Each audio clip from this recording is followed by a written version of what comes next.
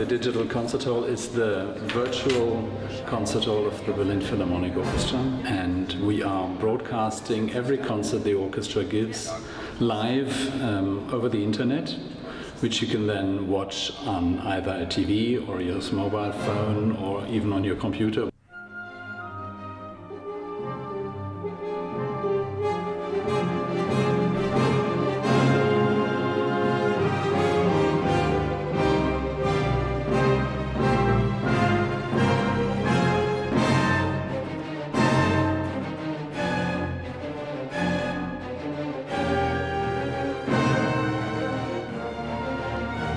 After a few days after the live broadcast, the concerts are put into an archive where, where, the fan or the music lover can watch it afterwards. And we have, by now, we have something like 210 concerts in the archive.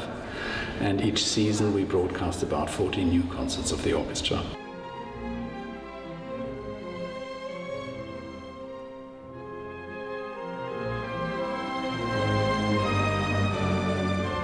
Usually we have three concerts prior to the live transmission where we adjust the cameras, where we program the camera settings, uh, and then during the live transmissions the cameramen only have to recall the camera settings because everything is remotely controlled and we don't work with cameramen in the hall. So in the control room, can you just quickly tell me what everybody's responsibility is? The director is the one who calls the shots and um, pushes uh, the button. He has prepared the score so that he uh, decided exactly where to show what.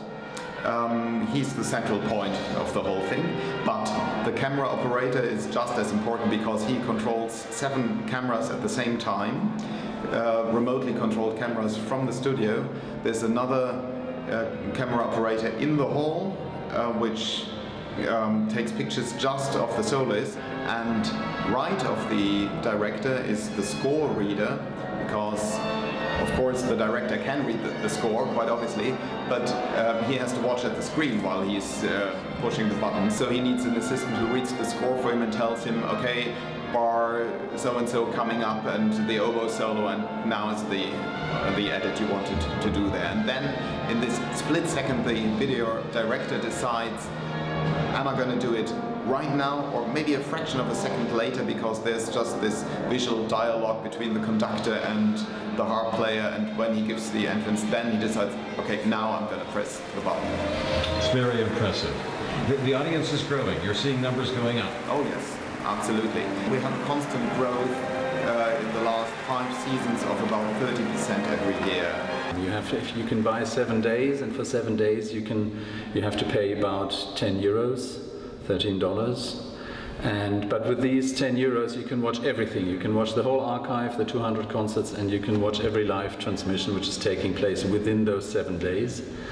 And the most expensive ticket is the yearly ticket, the 12 month ticket, where you have to pay 149 euros, more or less, $200. And, but then you have a whole season, you know, you have 40 transmissions and the whole archive and all the documentaries and all the education programs which we put in there, all the, all the interviews which we record for the transmissions.